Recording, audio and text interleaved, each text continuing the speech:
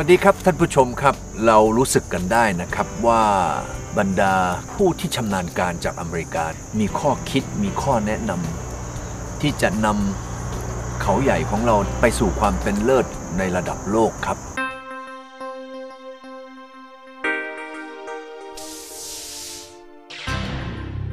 What do you think about uh, if really we going to be make Khao Yai to be the world class?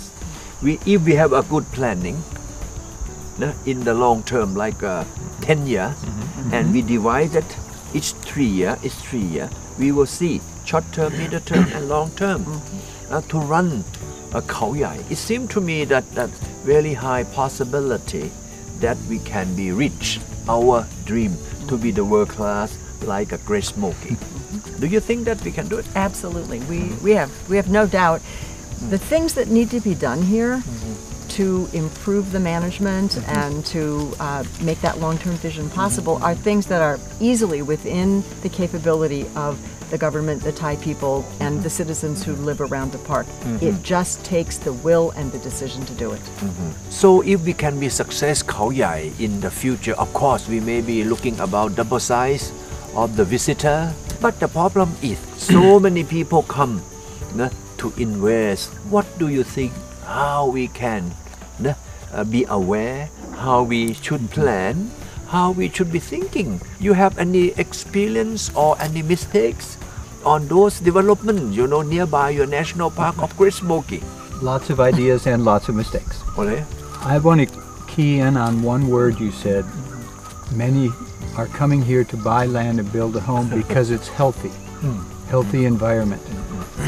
I use those words in managing Great Smokies. Oh. That my job was to maintain the health of the park mm-hmm.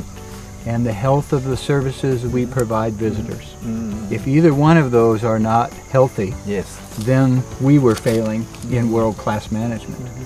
So when I spoke to the business leaders in the community who own the businesses and were making money because of visitors coming, mm-hmm. I reminded them mm-hmm. Mm-hmm. that I'll be supportive of your community, of your business, to make sure you have a healthy opportunity to be successful, to make a living, to create jobs. But you have to remember that you have to take care of the health of the park, the golden egg, as we call it. If the park is not taken care of, pretty soon the land value will drop back down. People will start going other places. ท่านผู้ชมครับนั่นก็คือเรื่องราวที่เคยเกิดขึ้นในอเมริกา เกี่ยวกับเรื่องของการพัฒนาอสังหาริมทรัพย์ ข้างๆ อุทยานแห่งชาติ ตอนนี้เขาใหญ่กำลังเกิดการเปลี่ยนแปลงอย่างมหาศาลเลยทีเดียว เราต้องไปคุยกันคราวหน้าแล้วล่ะครับ ขอบพระคุณทุกท่านนะครับ ที่ติดตามชมรายการของเรา สวัสดีครับ